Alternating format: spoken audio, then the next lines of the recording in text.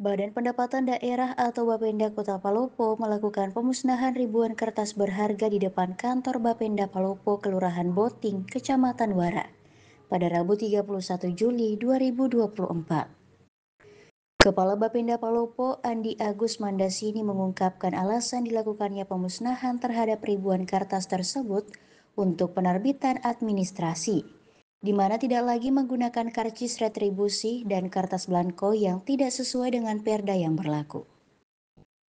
Kertas berharga tersebut sudah tidak bisa digunakan sehingga untuk mencegah adanya penyalahgunaan dari kertas berharga yang sudah tidak sesuai dilakukan pemusnahan.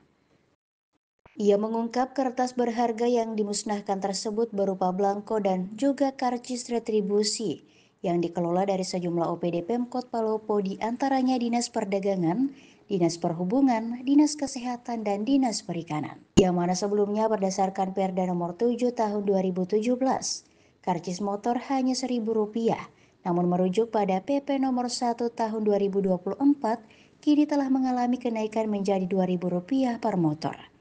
Sementara karcis untuk mobil yang awalnya Rp3.000 kini menjadi Rp4.000 tas berharga yang akan dimusnahkan itu yang sudah tidak sesuai dengan perda yang berlaku.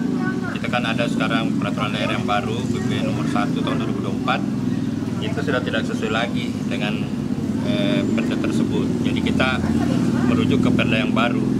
Eh, makanya kertas berharga ini sudah tidak bisa digunakan karena dia merujuk ke perda yang lama.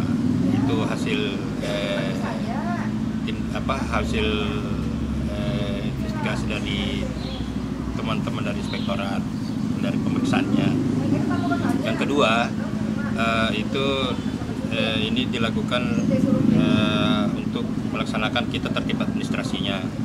Tidak menggunakan lagi eh, kertas blanko atau karcis retribusi yang sudah tidak sesuai dengan yang Pihak Bapenda memusnahkan 5.660 blok kertas berharga dengan cara dibakar untuk memastikan tidak adanya penyalahgunaan kertas berharga yang tidak berlaku lagi. Pemusnahan kertas berharga secara simbolis dilakukan oleh Asisten 3 Administrasi Umum Setda Kota Palopo, Nuryadin. Nada Gabrilia mengabarkan dari Kota Palopo, Provinsi Sulawesi Selatan.